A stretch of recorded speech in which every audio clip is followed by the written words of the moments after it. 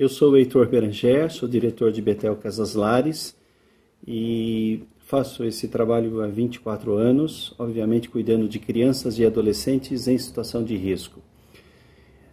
As perguntas que eu tenho para fazer nesse momento, especialmente à Câmara Municipal, é com respeito a, ao atendimento na rede socioassistencial. Nós que trabalhamos com esse serviço de acolhimento, acolhemos crianças e adolescentes em situação de risco. E, obviamente, essas crianças, esses adolescentes, é, têm suas famílias, os seus familiares. Nós que recebemos as crianças estamos preocupados com essa situação e, nesse momento, as crianças não podem receber visita, ainda que o nosso trabalho também contemple né, a ressocialização e também a aproximação dessas famílias, desses núcleos familiares às crianças e aos adolescentes. Nesse momento, com medo da contaminação e também por conta da, do isolamento social, a gente tem tido esse cuidado e essa dificuldade. As crianças estão como que confinadas né, nas casas onde elas são acolhidas. E essa é uma dificuldade não só de Betel Casas Lares, mas de todos os SAICAS. E nesse sentido, nós precisamos que a rede socioassistencial, as entidades e o poder público que oferecem o serviço é, na rede de atendimento entendam que nós precisamos dos serviços. Então, tem sido difícil para a gente, desde marcar uma consulta, desde recorrer a, a profissionais técnicos né, que fazem o atendimento nas entidades parceiras e também junto com o poder público. Isso tudo tem sido muito complicado, porque houve uma suspensão dos serviços. Né? Algumas entidades de atendimento é, suspenderam é, as suas atividades e a gente não tem tido é, esse retorno é, para um serviço que é essencial no cuidado da criança e do adolescente. Essa é uma pergunta. Como fica esse serviço? A rede socioassistencial precisa é, contemplar os atendimentos, atendendo os SAICAS e também oferecendo às famílias é, essa, é, nesse atendimento a habilitação para que essas famílias retornem ao contato, ao convívio das crianças nos abrigos. Eu sei que é muito complicado, porque é, nesse contato pessoal a gente acaba é, incorrendo, né, é, podendo ter uma contaminação e é tudo que a gente não precisa, alguém contaminado dentro dos SAICAS.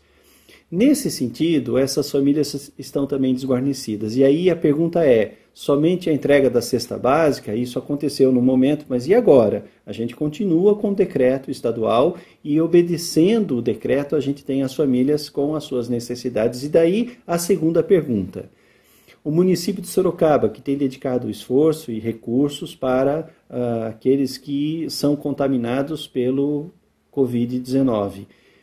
É, qual é o recurso que vai ser aplicado para a manutenção e sustento das famílias em vulnerabilidade social na cidade de Sorocaba. É, então, é, a gente precisa entender que essas famílias estão desguarnecidas, tanto do atendimento socioassistencial, assim como só a cesta básica não resolve o problema. Eu tenho visto em outros municípios o empenho das prefeituras é, é, somando os recursos junto com o governo estadual e o governo federal para o atendimento dessas famílias. Quanto a cidade de Sorocaba empenhará na distribuição de recursos de renda para é, dar suporte a essas famílias? Claro, nesse momento todos nós entendemos, todos nós entendemos que existem recursos que estão sendo aplicados no atendimento das pessoas contaminadas, mas existe uma, uma situação que envolve a economia e essa atividade né, que traz sustento às famílias. Nós precisamos dessas respostas e por isso as minhas perguntas. Obrigado, eu aguardo respostas e estamos aqui para trabalharmos juntos e vencermos o coronavírus. Oi, Heitor, o seu questionamento é muito importante, até porque a gente possa esclarecer as fiscalizações diárias e contundentes que nós estamos fazendo, cobrando diariamente a prefeitura para que reforce cada vez mais o terceiro setor. Terceiro setor este que é muito importante e que faz muitas vezes o que o município não faz. Então eu tenho procurado bastante, me empenhado bastante em dar melhores condições no fortalecimento financeiro para essas instituições que cuidam dessas famílias em vulnerabilidade, porque o nosso lema é governar para todos, mas principalmente para aqueles que mais precisam. Estamos de olho e acompanhando e somos adeptos cada vez mais do fortalecimento dessas instituições.